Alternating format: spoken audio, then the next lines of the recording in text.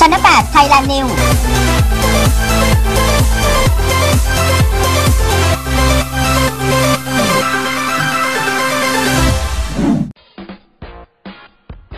งานนี้ต้องไม่พลาดกันเลยล่ะค่ะสำหรับทันตแพทย์วัฒนาชัยวัฒน์หรือหมอหนึ่ง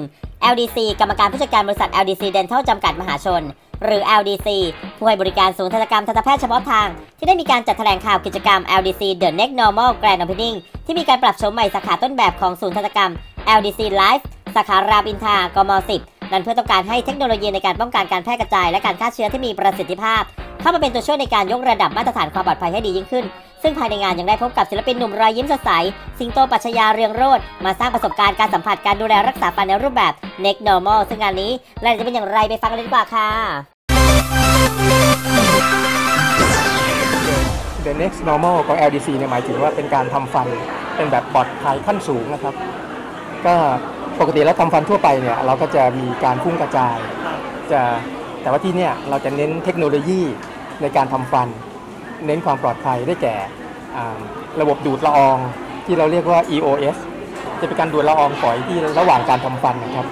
นะครับ แล้วก็ทำงานร่วมกับเครื่องฟอกอากาศทำให้อ่าห้องฟันมีอากาศที่สะอาดขึ้น แล้วการที่ 2 ก็จะเป็นหลอดฆ่าเชื้อนะฮะจะมีหลอดไฟฆ่าเชื้ออยู่ห้องฟัน หลังจากจบเคสแต่ละเคสเนี่ย ก็จะมีการฆ่าเชื้อไม่ให้เชื้อโรคเนี่ยติดต่อจากอีกคนหนึ่งไปสู่อีกคนหนึ่งแล้วก็อันที่ 3 ก็เป็นระบบ auto door ห้องฟันทุกห้องนะฮะจะเลื่อนด้วยอัตโนมัติไม่ต้องสัมผัสเลย อันทีสี่4 ก็เป็นเรื่องของอสัญญาณไฟที่อาจารย์หมอแบงค์พูดนะครับว่า ถ้าเรากดสัญญาณไฟสื่อสารกับหมอได้ ถ้าเกิดเราเจ็บและอยากหยุดทำฟันเนี่ยระหว่างทำฟันเนี่ยสามารถคอนโทรลได้ ปกติเราทำฟันเนี่ยเราจะเหมือนกับอยู่ในมือของหมอนะใช่ไหมครับทำให้การทำฟันมันน่ากลัว แต่ว่าที่นี่เราจะให้คนไข้เนี่ยสามารถถือ สัญญาณไฟและสามารถบอกได้ว่าจะหยุดเมื่อไหร่ครับจริงๆ บริษัทมีทั้งหมด 30 สาขา สาขานี้เป็นต้นแบบ แล้วก็บริษัทก็ทยอยทยอยจะปรับยกระดับสาขาที่มีอยู่ครับทยอยไปปีหน้าน่าจะปรับสัก 5 สาขาครับอันนี้มันเป็นพื้นฐานของของของเราอยู่แล้วเป็นนโยบายของบริษัทอยู่แล้ว ต้องเน้นเรื่องความปลอดภัยอยู่แล้ว แต่ที่เนี่ยมันเป็นความปลอดภัยขั้นสูงครับ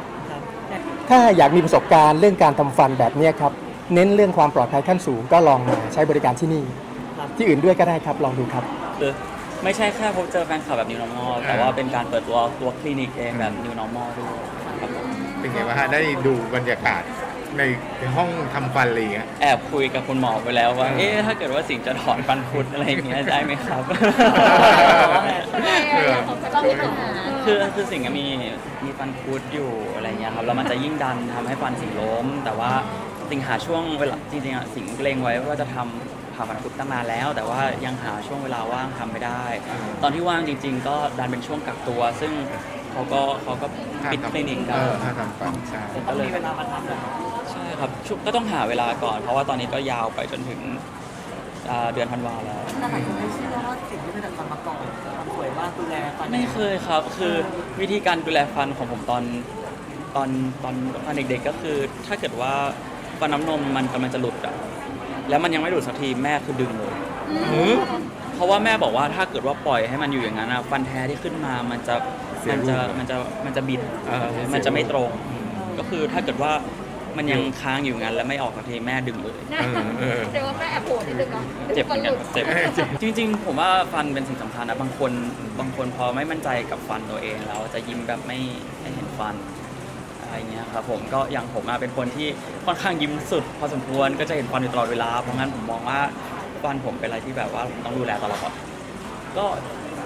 ไม่จำไม่จำเป็นว่าคุณแบบอ่าอยากรักษารักอยากอยากรักษาฟันหรือว่าอะไรเงี้ยขอแค่คุณดูแลฟันทุกๆหกเดือน เช็คสุขภาพฟันขูดหินปูนอะไรเงี้ยบ่อยๆ ทุกหกเดือน สุขภาพคุณสุขภาพฟันคุณก็น่าจะดี